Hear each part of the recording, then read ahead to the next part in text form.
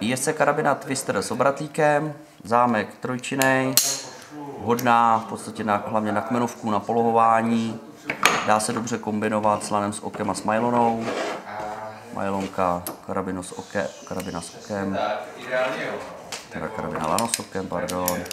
Zašroubujete majlonkou a máte v podstatě propojený propojení.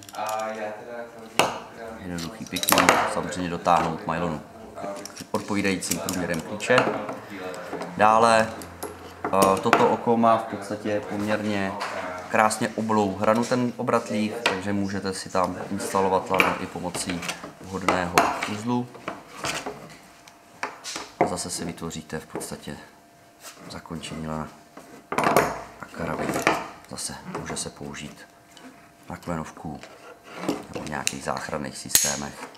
Poměrně hodně oblíbená, kvalitní, s dlouhou životností. Co se týče ještě pevností, v tahu 27 kN, ideální do vašeho setu.